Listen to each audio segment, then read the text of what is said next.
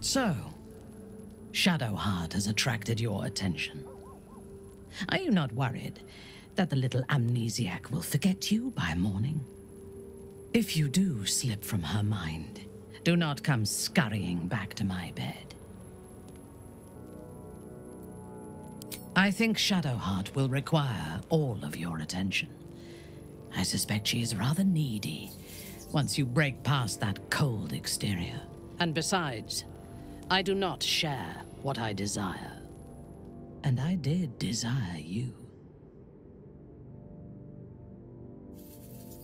You will be much sorrier if you continue to talk. Go. There is nothing more to say.